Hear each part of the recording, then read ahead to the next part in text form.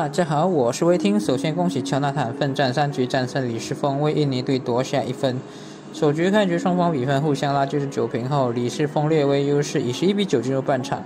半场后，乔纳坦追至十四平后开始反超，以二十一比十六拿下首局。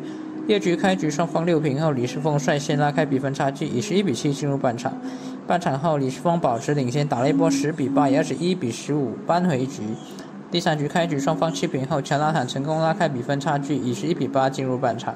半场后，乔纳坦成功保持领先优势，以二十一比十七拿下比赛。